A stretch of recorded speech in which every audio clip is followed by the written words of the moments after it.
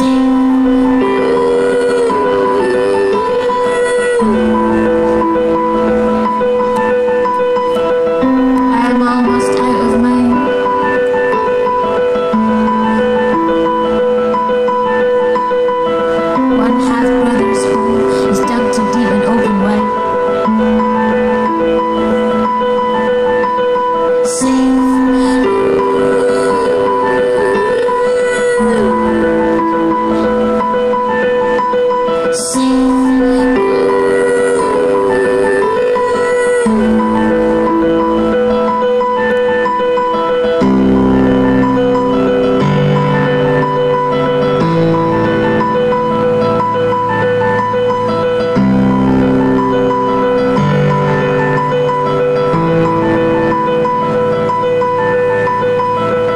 is the madness in the blood.